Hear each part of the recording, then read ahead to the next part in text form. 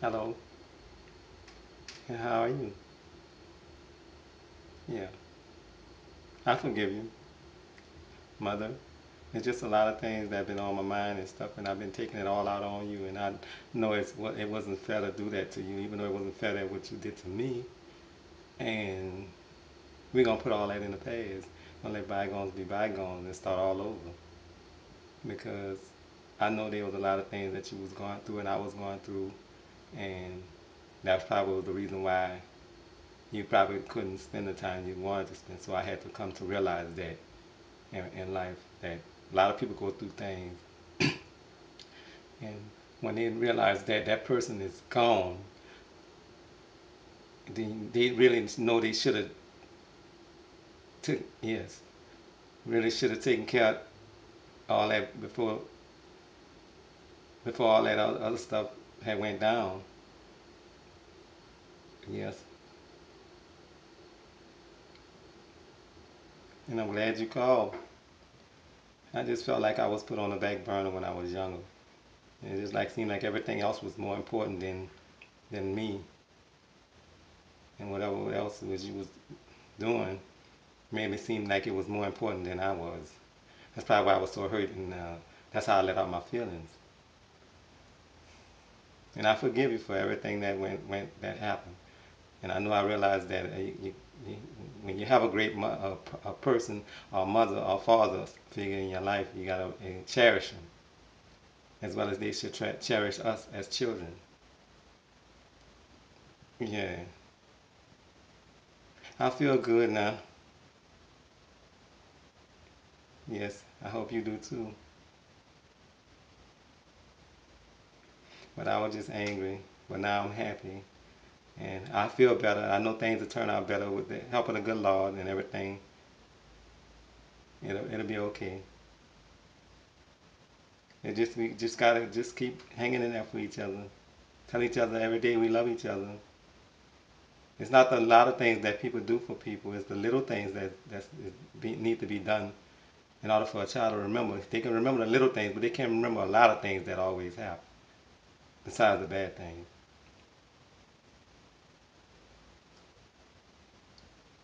Yeah.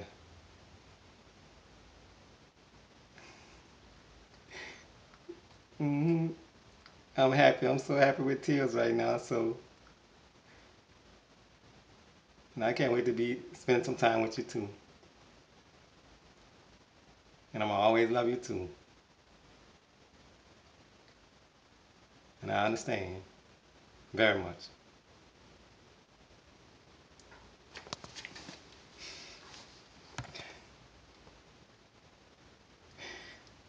And I understand it very much. Even though I know my daddy was, has probably a lot of things that was on your mind also when he wasn't here to take care of me. And you did all the things, um, and I, and I appreciate that. And I appreciate that. It's like I appreciate a lot of things that is being done with my kids today that the, mother, the mothers do that they are doing by themselves. Uh, but I, I, am I am trying to be a father and spend time, at least call my kids every week or whenever I can. I know. And I don't want to make the same mistake that other people make. Even though I'm going to make mistakes, but sometimes we got to learn how to correct our mistakes whenever we do whenever we do something. It's just a learning process or stage that we have to go through in order for the learn life. And I thank God for every day that, that he, he gives me. And that he and that I thank God that he gave me a mother again and a, and a grandmother that I will always cherish. I will not take y'all for granted. So yes.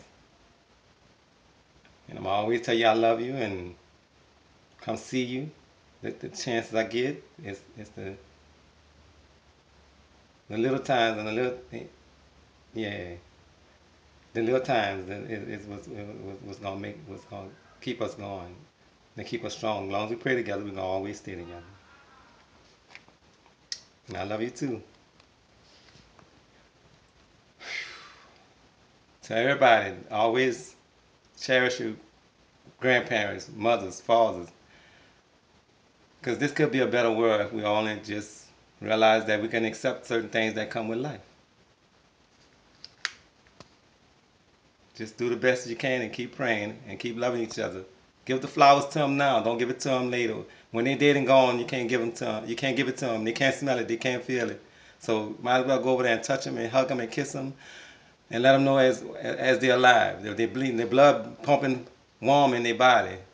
But when they run when they run cold, they ain't gonna know us. And I would like to thank everybody for listening and look and looking in on my little scene. And God bless.